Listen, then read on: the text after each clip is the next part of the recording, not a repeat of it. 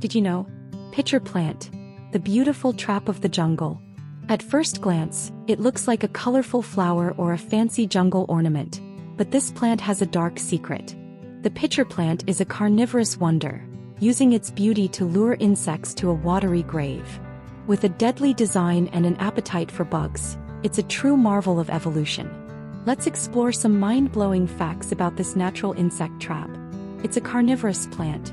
Unlike most plants that absorb nutrients from soil, pitcher plants eat insects and sometimes small animals. To survive in nutrient-poor environments, it traps prey like a pitfall. The plant forms a deep, slippery pitcher filled with digestive fluid. Once an insect falls in, there's no escape. Digestion happens inside the pitcher.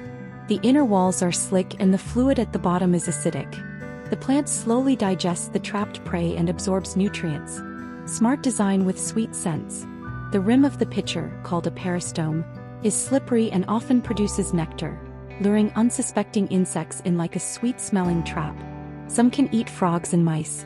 Larger species of pitcher plants, like Nepenthes raja, have been known to trap frogs, lizards and even small rodents. Found in tropical regions, pitcher plants grow in tropical rainforests of Southeast Asia, Madagascar and the Americas, often in swampy or nutrient-poor soil. Nature scientist.